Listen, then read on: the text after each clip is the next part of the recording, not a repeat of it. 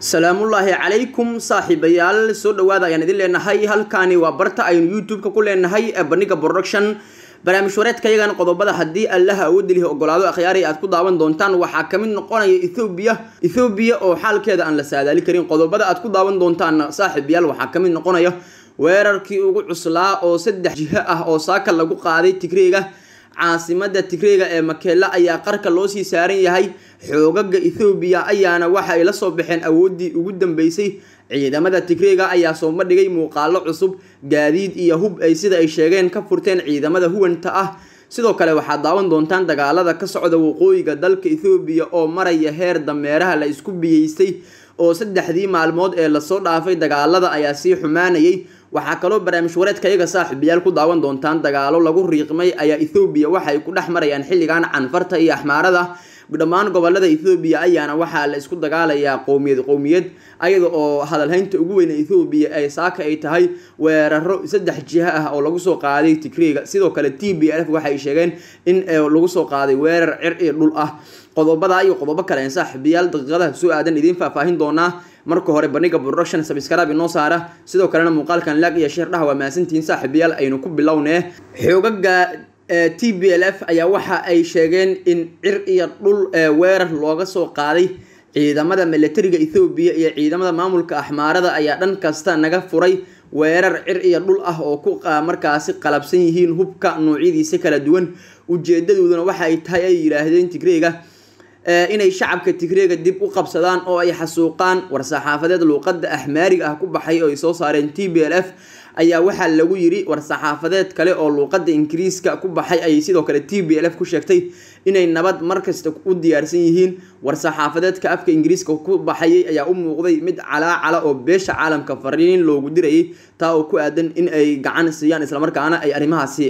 baaqyo caalami ah ka soo saaraan. Ciidamada tigreega ayaa soo bandhigtay muuqaalo cusub gaadiid iyo hub sida ay sheegteen ay ka furteen ciidamada huwanta ah dagaalada ka socda waqooyiga ethoobiya ayaa waxa ay marayaan heer dameeraha la isku biyeystay. Saddexdii maalmood ee la soo dhaafay dagaalada ayaa sii adkaanayeen waxaana la arkayay ciidamada oo wato dameero markaasi ay saaran yihiin gaariyaal kuwa oo biyo ay ka buuxaan ayaga oo doonayo inay dagaalka ku galaan maadaama gaadiidkii qaarkood la gubay qaarkood hubkii uu saameeyey dagaalo lagu riiqmay oo halkoodii ka sii socda waqooyiga ethoobiya gaar ahaan deegaanka axmaarada iyo canfarta sida la wada ogyahay. Markii hore waxaa weerar ahaa tigreega balse saddexdii maalmood ee la soo dhaafay ciidamada huwanta ah waxa ay bilaabeen inay weeraraan fadhiisimaha ciidamada tigreega.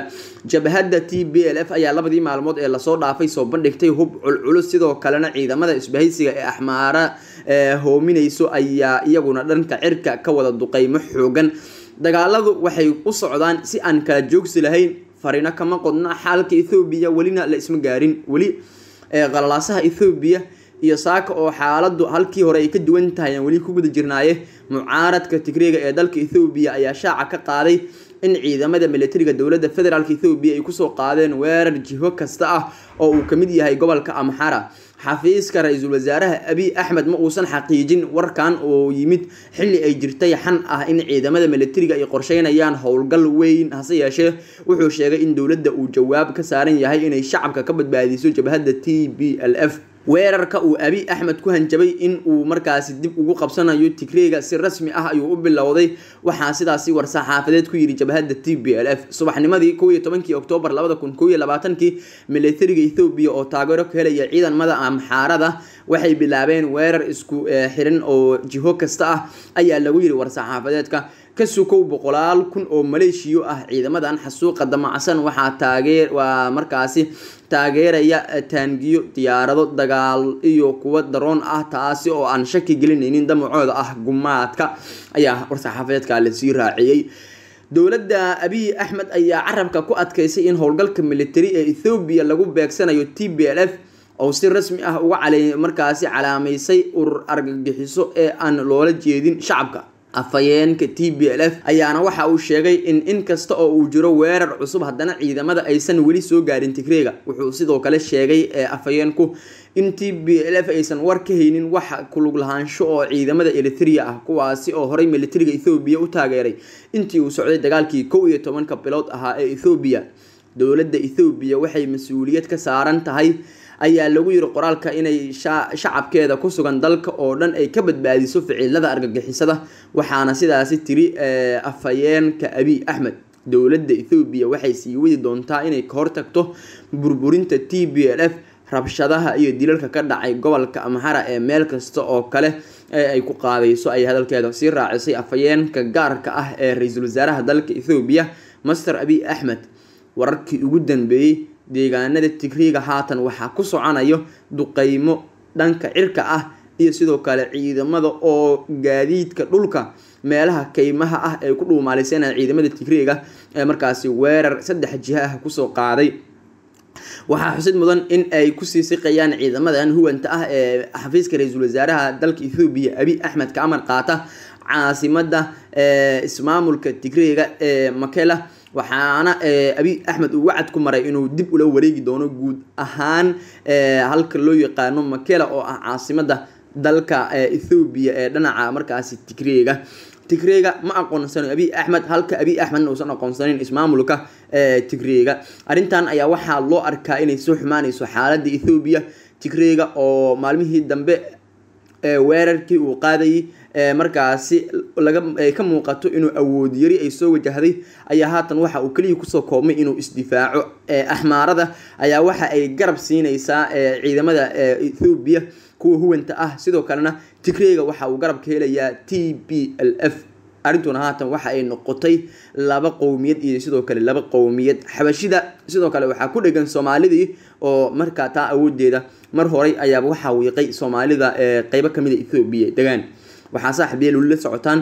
warkayaga ee ku saabsan xaaladda jahawareerka ah ee ka taagan ethoobiya saaka dhammaan xafiisyada dowladda ayaa xiran cid kasta oo ku sugan ethoobiana waxay isku dagaalinaysa waxay isku diyaarinaysaa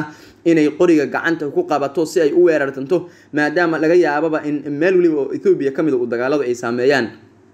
sidan horey barnaamijyadeeni hore idinkugu sheegnaba waxaa yar magaalo ku taalla ethoobiya oo aysan dhiig ku daadan maalin weliba. Magaalooyinka waaweyn kuwa tuulooyinka iyo gobollada ayaana dhiig si maalinla ah oo ugu daataa sidoo kale waxaa xusid mudan in dhammaan gobollada iyo deegaanada ethoobiya uu dagaalo ka soconayaan. Haddii ay ahaa lahaayeen deegaanada canfartu ay degaan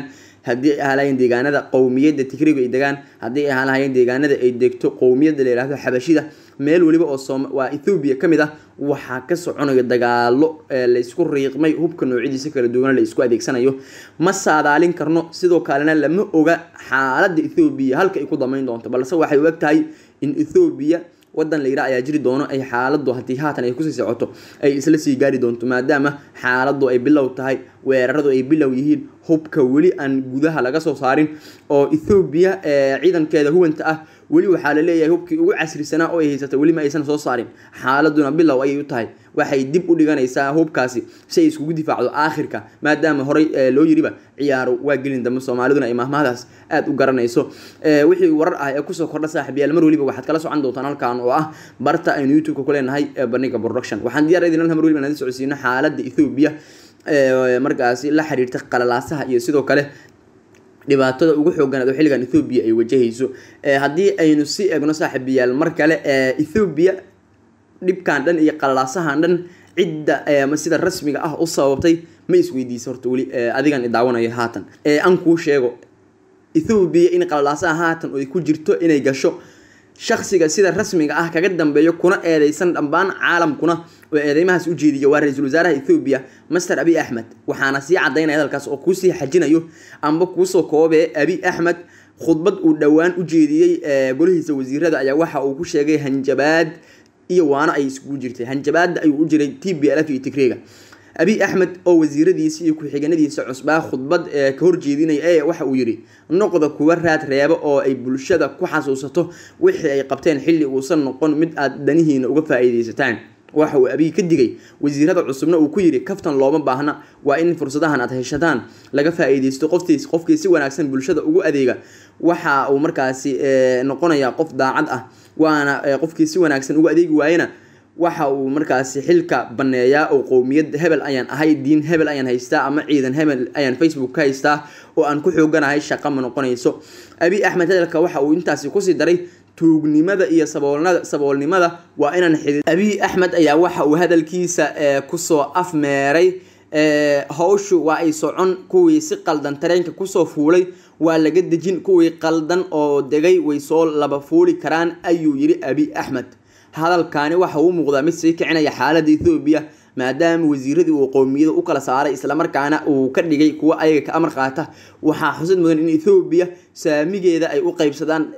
qowmiyadaha dalkaasi ku nool oo qowmiyad weliba ay markaasi wasiiro iyo sidoo kale saraakiil ciidan ay leedahay haddii uu marka qowmiyadaha dagaalka kula jiro ethoobiya oo abi axmed uu dafiro islamarkaana meesha uu ka saaro waxaa muuqato in dagaaladu ay sii xoogeysan karaan islamarkaana markaasi wejiyo kale ay sii yeelan karaan. Sanadii labada kun iyo labaatankii khudbad uu jeediyey abi axmed ayuu waxa uu wacad ku maray inuu tigreega iyo t b l f soo afjari doono gebi ahaantoodba.